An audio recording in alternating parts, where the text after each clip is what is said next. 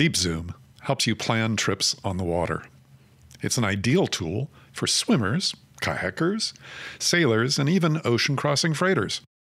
DeepZoom excels at trip planning and route creation, and then sharing those trips with others.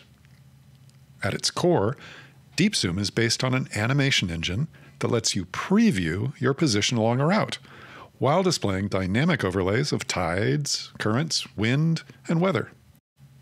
The animation engine is stateless, so you can play around and change any property, such as vessel speed or departure time, while the animation is running. DeepZoom also includes a time based scripting language, so you can customize your trips, showing images or web pages at specific points along a route. Here's a quick tutorial. Here's some key concepts for navigating around in DeepZoom. When playing or scrubbing an animation, the lock button controls whether the map scrolls in sync with the current route position. Clicking on the time display brings up the animation control dialog, and here you can select whether the animation starts at the beginning of a route or on a particular day. Anytime you're working with routes, you probably want this set to all routes. When viewing nautical charts, I find the most pleasing display is when using street maps with the chart opacity set around 0.5. This lets you view information from both map sources simultaneously. Wind arrows and current arrows are usually left at an opacity of 1. You can choose marker types of interest to you, but of particular note are CP for NOAA Coast Pilot and W for Wikipedia.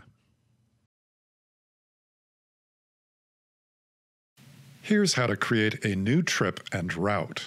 First, select Trip New. And here we're repositioning the map a little bit. And then select Route New. It's usually easiest to rough in the route and then go back and make corrections after the route is completed. Double tap the endpoint to finish a route. And here we're, we're repositioning some points and creating some new midpoints. By the way, you can rotate and pitch the map using the Control key and left mouse button on a desktop or use two fingers on touch devices.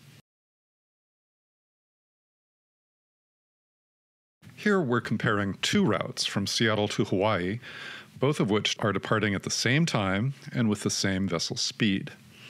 The first route is direct, and the second route has a stopover in San Francisco, and it's called Via SF. And you might wonder what's the difference in travel time?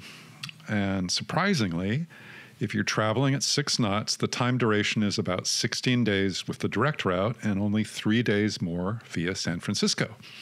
You can play with various options while the animation is running. You can change the speed of a route. Uh, you can change the departure date for the entire trip by changing one day or select any particular day you want. Notice that the routes are following the Great Circle path, and of course, you can change the animation rate. But don't go too fast! Here we're on a trip from Seattle to Victoria, and the first route stops overnight in Port Townsend.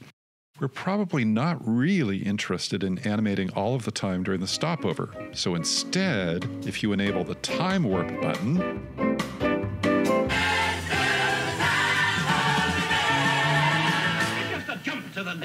Now, all the time between routes is removed from the animation. Select a tide or current station by just clicking on it. It will become larger. Current stations are yellow arrows for ebbing currents and green arrows for flooding currents. Tide stations are yellow squares.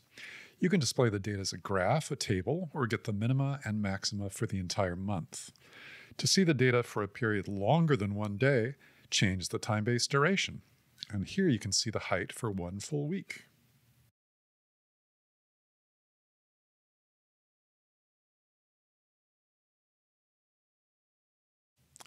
If you enable the wind overlay, wind direction arrows based on the latest quarter degree GFS forecast will be shown.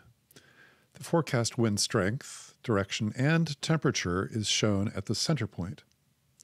When the map follows the route, the forecast continues to be displayed. Switching to the weather page shows the NOAA point forecast for the center point.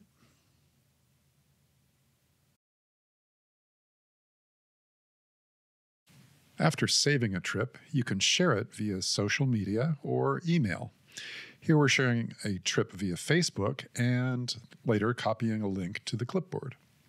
If you want to customize the playback of the trip, there's a time based scripting language available via the script dialog. Hey, happy deep zooming!